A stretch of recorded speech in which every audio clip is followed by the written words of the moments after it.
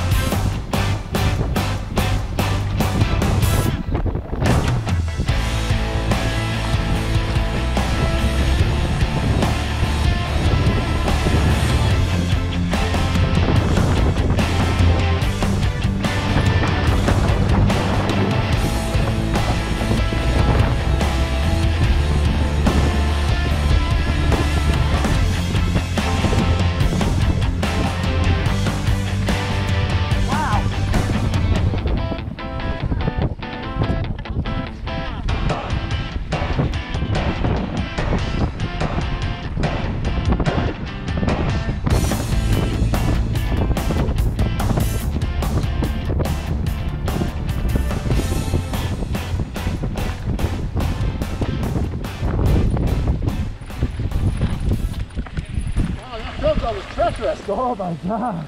Holy shit.